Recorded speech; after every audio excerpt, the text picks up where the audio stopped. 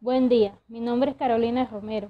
Hago parte del programa Mantenimiento de Equipos de Cómputo, Diseño e Instalación de Cableado Estructurado de la ficha 1615469.